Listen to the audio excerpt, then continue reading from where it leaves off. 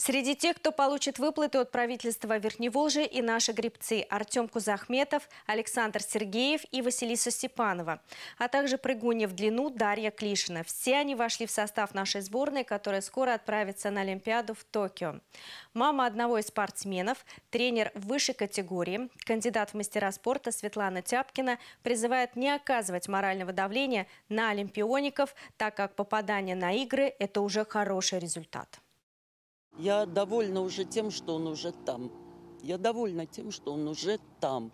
А дальше, ну, как судьба сложится. Будем надеяться на лучшее, но не будем ничего загадывать. Я не люблю загадывать заранее. Давайте болеть за наших, в первую очередь за наших гребцов, за тверских гребцов, за Артема Кузахметова, за Санька и, конечно, за всю нашу олимпийскую сборную по всем видам спорта.